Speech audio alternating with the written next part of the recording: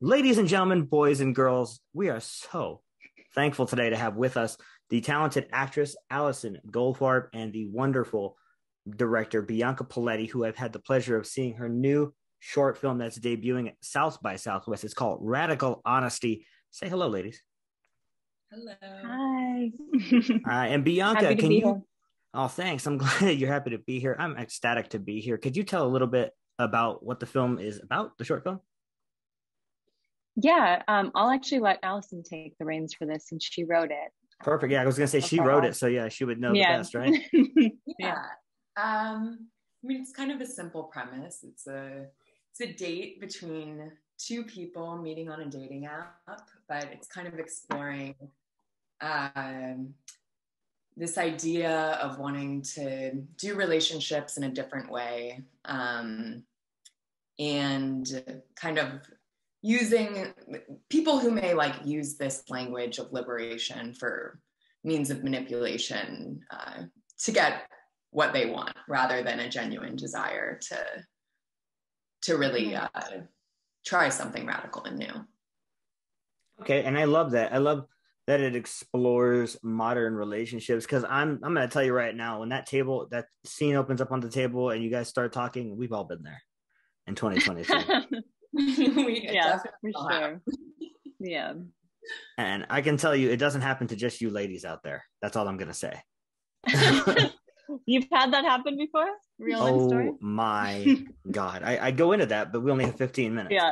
Yeah, yeah. Other time. yeah that, that- so i can the, when i saw the film and, and where, where it went i'm like well yeah no been there hate that hate every second of that uh Yeah. now bianca this isn't the first time you've worked with alison is that right Right. Yeah, we actually met um because I cast her in a music video for King Pari called Mary. Um, and we just got along so well and she's such an amazing actress and has such a great vibe and um and yeah, and then she sent me this script and I just absolutely loved it and we have a lot of uh similarities as far as like our vibe goes, I feel like in aesthetics and um and what we're interested in exploring in humans and and like subtle humor and things like that. Um, so yeah, and we did the short and it worked out so well. i definitely watched the music video because they sent me a link to your website where it had all your work on it Oh, and i definitely nice. checked it out uh i've also seen that planned parenthood commercial you did it's amazing Oh, by the way. yay. Thank Uh, you. Thank you. alison this is your first time writing yeah it is yes that came Um, out good man that's a great first script to start with Nicely minutes, done. short concise to the point well done Thank you. Yeah. I mean, I've been writing all my life, but this was my first screenplay. And I just feel so lucky that, you know, I got Bianca on board to do it and just like the synergy. As my cat, sorry. The synergy between the two of us just like really locked it in. Yeah, I, I, I got to tell you, you had great chemistry with uh, John there, John Hine, I believe is his name, Uh, yeah. who, who plays man to your woman across the table. Mhm. And this one, he's he's really really like, I get why you'd want to go on a date with him. He's a handsome fella, but Yeah. I got creeper vibes the whole time from that script. I'm like, why would you even want That's to take him home in the first place? Oh my god. really leaned Yeah. into the character. Nah. Yeah. I'm sure. My whole thing with that was like, I was like, you deserve better, baby girl. Get you better. That's how I felt the Oh, whole man. time. Now, uh, th- no, seven minutes. I I love that our interview is going to be uh, twice as long as the shortest, um, which I find that, that that is a strange, ironic twist. Um, so let's let's get into this a little bit more. Let's start with you, Bianca. Obviously, you've done some great work. You've even worked with a a young lady who's been doing a lot of features, and I had the pleasure of interviewing last year, Sophia Ali, in one of your other shorts. Ah, she's one of my best friends. I love her. You interviewed her? Uh, I did for uh, India Sweets and Spices. She is Yeah. the sweetest. She liked my hair. She's cool. I like hair. Amazing. Yep, hair is Uh, on point. Thank Um, you. It's hard so work. cool. Yeah. No, it, it was. Uh, she was a sweet, sweet woman. Very, very cool. Uh, she thinks she thinks I'm. Yeah. Uh, she said that I think she's cooler than she actually is, but I disagree. Um, Yeah. No, but She's naturally very chill.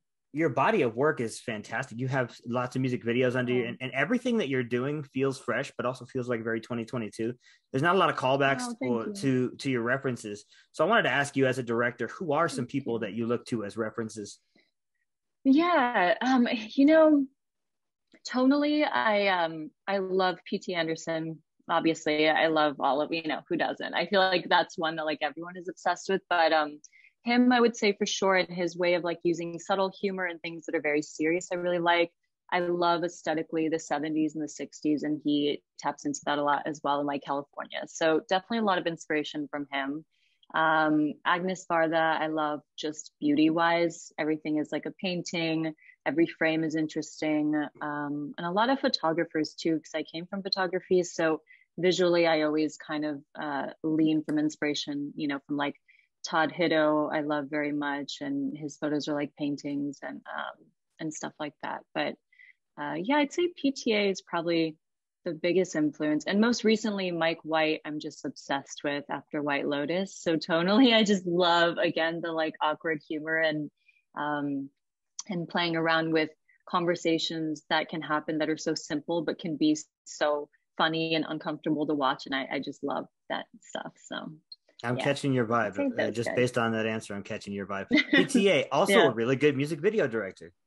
Yeah. Oh my God. And Spike Jonze, obviously. Her was incredible. A lot of inspo from just him in general, but also a music video director we, the beginning. Yeah. We can't discuss Spike Jonze because, like, that's my favorite director. And we did a whole hour podcast just on his work. Oh, we did a whole hour podcast. Nice. So that reminds me, guys, nice. if you guys haven't checked out our podcast, do it.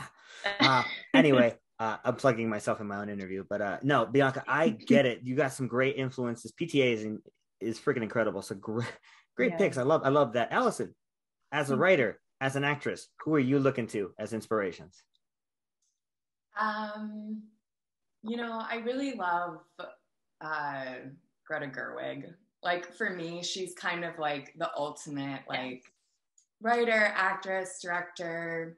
Bianca and I have spoken about this. Like I watched Frances Ha and just like every line of that film, I was like, oh, it's me. um, but yeah, just kind of like really taking inspiration from everyday life and just kind of like the awkwardness of being a human, trying to connect with people.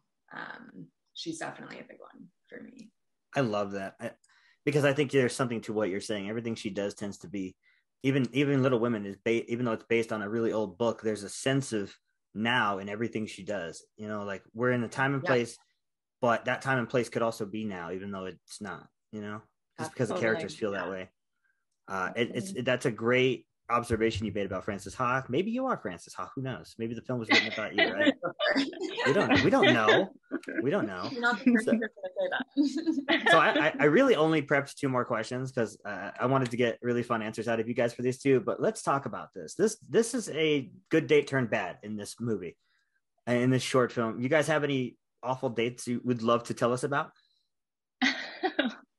Oh God, Alison, I have to think on that. Um, man, because I feel like you wrote this as a bi- as a biography, Alison. you know, luckily I didn't. Oh, like, thank God. yeah, certainly inspiration taken from my life and conversations that I've had with people, and um, you know, like my own genuine desire to kind of like find a relationship structure that is like authentic to me. Um, luckily, this has never happened to me. um, and I don't like I'm like a relationship girl kind of. And I, I am too. of experience yeah. like going out on dates, but a lot of my inspiration is like talking to my friends who are like on the apps and like you know I don't want to like air out anyone else's stories, but I have just heard like the craziest craziest stories from them that I'm sure a lot of us men are mentally ill, so yes. um, yeah. no, men I, are great. Um, I speak yeah, truth, okay? I, um, I yeah, I, I, agree with Alison. I've actually I am a relationship person too, and uh, have been in back to back relationships that are pretty good and healthy, but um, I have a similar thing where, yes, a lot of friends have crazy, crazy stories, uh, especially in LA. I feel like, but that's something that we're kind of elaborating um, on and and making this uh, potentially like a TV show and something bigger. So more of that to come for sure. I would love to see that. Just a series of bad dates from dating apps, just put together as a TV show. with no, Yeah. like kind of like a kind of like a a Black Mirror, but even more horrible. Yeah. a Black Mirror version would be interesting for sure. Yeah. You know, like if you watch Hang Yeah. the DJ, the ver- the Hang the DJ episode of Black Mirror, but that was for like twelve episodes. oh my God. Dark. Yeah. Yeah. Like that would be that's that's just dating in real life. You know what I mean? That's just how that is. Yeah. Um, I love that. yeah. Uh, so For the hardest question I'm going to ask you guys today is the next one that I'm going to ask you because it is the hardest question. Let's suppose something weird happens with the world and you can only watch two movies for the rest of your life. What two are you taking and Oh. why? Oh wow. That's so rough. Yeah, this is the hardest question. Uh, yeah, man. Oh, that's so crazy. Oh, what have I seen a million times? Okay, a movie I've seen a million times. Yeah. Like throughout my life that I I will always come back to for like comfort is Lost in Translation.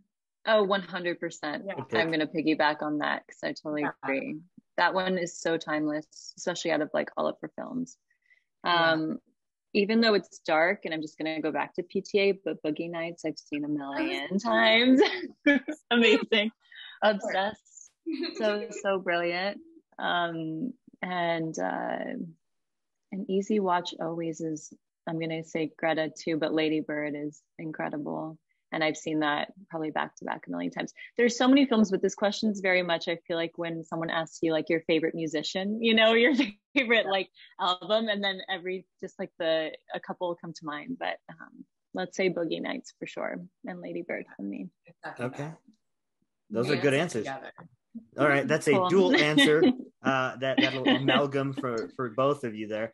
I love that. It's funny Sweet. because if I was going to pick a PTA al- uh, uh, film, I probably would have picked Punch Drunk Love just because I'm a hopeless romantic. Oh, really? That's a great one too. Obviously, it's so beautiful. Oh my god! And Adam Sandler is so interesting too. Like in Uncut Gems, he was so good. I love him in serious roles. So so interesting. I feel like if you give him a good script, he's good because like he worked with Noah Baumbach Totally. in the uh, the Meyerowitz yeah. I was Like, Oh, yeah, yeah. give him stuff to do, like he's good. But when you uh, let him like rely on his own devices, you get you know most of his Comedy. output for the last fifteen years.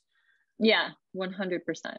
and for the record, my two picks would be Eternal Sunshine of the Spotless Mind. oh yes, yes, yes, yes, and that's And- another inspo.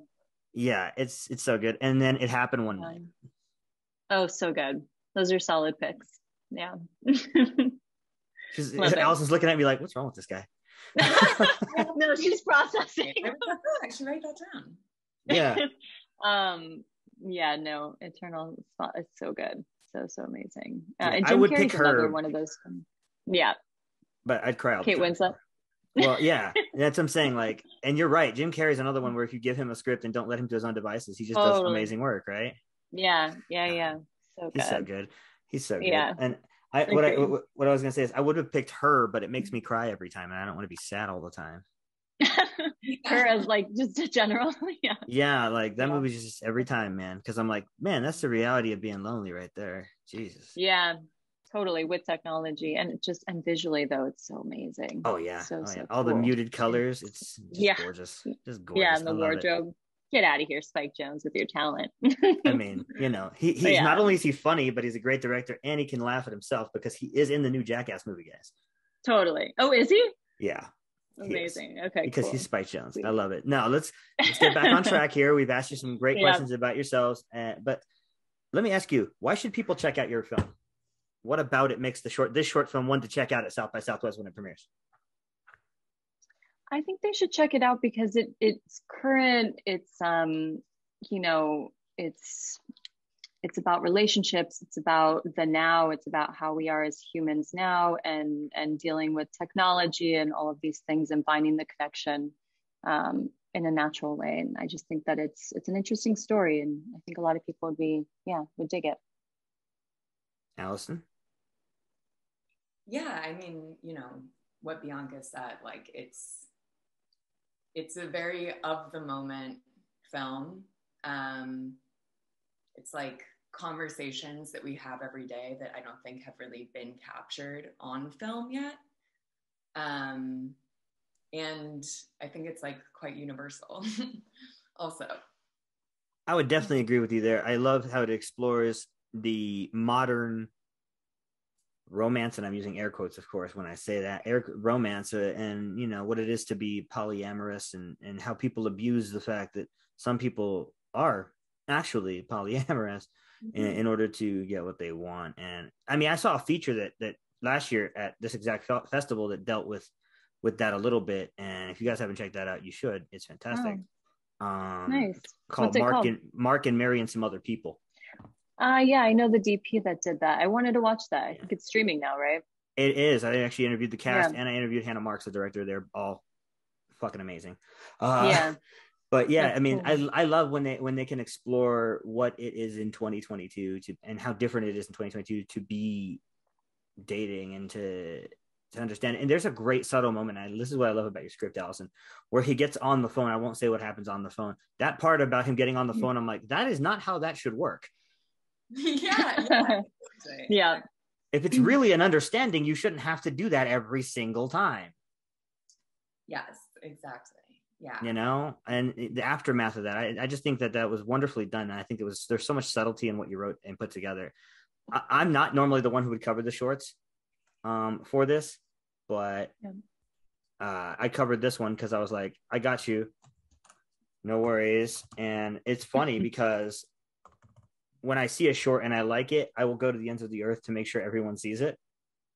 Oh, that's awesome. And so for you guys, I will make sure that, that when this interview goes out, that we tag you guys. And where can people find you if they want to find Amazing. you? Yeah.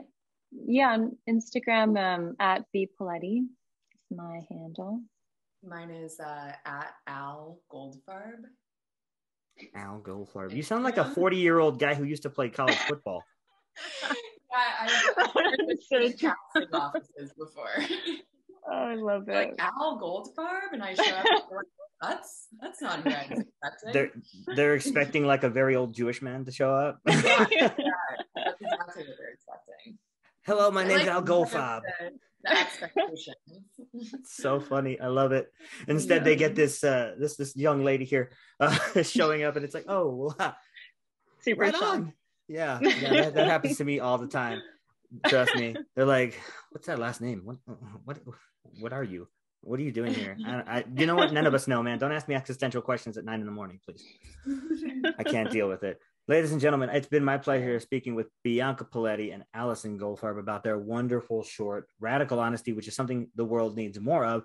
Make sure that if you're headed to Austin for South by Southwest and you're going to be watching the shorts program, that you check this one out and you tell them we sent you because honestly, you're going to laugh. You're probably going to have an existential crisis uh, because you relate to the characters too much. And then you're going to have more fun and laugh again because the ending is really funny. Uh, that being said, is there anything else you guys want to say before I let you go? Because uh, we're pretty much out of time. Um, no, just thanks for having us, and we're super excited. And yeah, thanks for the good questions and chatting with us. Oh, no worries, Bianca. Thank you, Alison. Anything? Yeah. No, just thank you again for having us. It was it was really fun to get into it and all chat together. Oh, no worries. Thank you guys for having me. I appreciate it. And for Film Snob Reviews, this has been William, and we'll see you guys next time. Laters.